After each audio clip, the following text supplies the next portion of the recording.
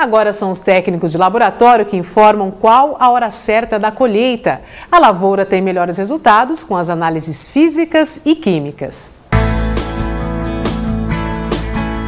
A Canoeste, em parceria com a Coopercana, mantém à disposição dos associados e cooperados os laboratórios de solo e sacarose na unidade de grãos em Sertãozinho. O Laboratório de Análise de Solo faz parte de um dos programas do Instituto Agronômico de Campinas, o de Proficiência em Fertilidade do Solo. Os técnicos seguem os métodos desenvolvidos pelo IAC, que é pioneiro nessa tecnologia no Brasil. Fazer parte do programa atesta a qualidade das análises.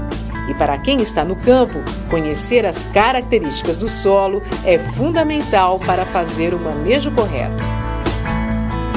E todos os anos ele tem conseguido as notas muito boas em termos de proficiência, que caracteriza, vamos, poderia dizer, alta confiabilidade nos resultados obtidos, ou da amostra recebida, bem entendido.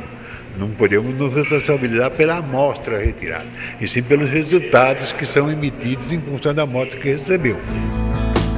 Todos os meses, o laboratório realiza em média 1.200 análises de solo Aqui é feita a análise química, que mede o nível de acidez, quantidade de matéria orgânica, potássio, nitrogênio, alumínio e enxofre. Também é feita a análise granulométrica, que indica a quantidade de argila e ajuda a conhecer qual é o ambiente de produção. Um dos diferenciais do laboratório é o prazo de entrega dos resultados. No máximo, em cinco dias, o produtor já tem a resposta.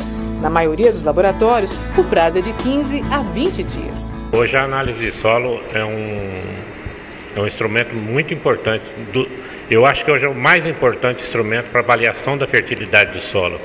Para o agricultor saber como está a condição do solo dele na hora de plantar, na, na hora de fazer algum tratamento de cultura. Hoje o agricultor ele tem que ser tratar a agricultura como uma empresa.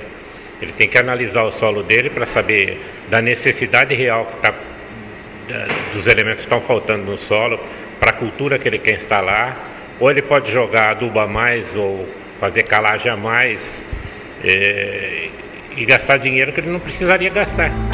O outro laboratório, o de sacarose, é certificado pelo CTC, Centro de Tecnologia Canavieira, e é muito útil para comparar resultados dos laboratórios das usinas da região.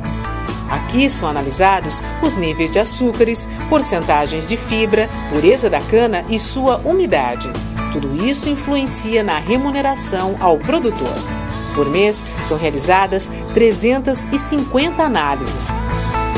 É, a partir desse momento, o, o, agricultor tem na mão um instrumento que ele vai poder avaliar quando que ele vai cortar essa cana, a melhor época para ele cortar e, e vender essa cana para a usina. É, a época que ele pode ter a maior maturação da cana.